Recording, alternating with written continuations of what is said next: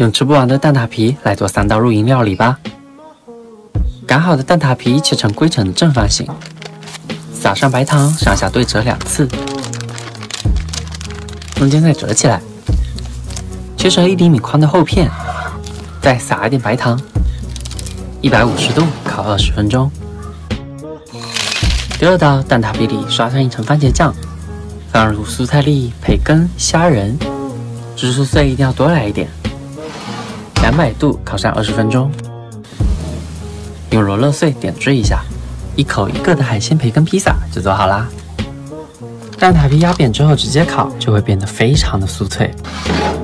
在烤好的塔皮中间挤上奶油，叠上一层塔皮，放上喜欢的水果，我用了草莓、蓝莓还有芒果的。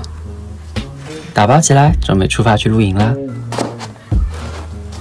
春天的气温刚刚好，微微的凉风搭配着蝴蝶酥、小蛋糕，真的是太惬意了。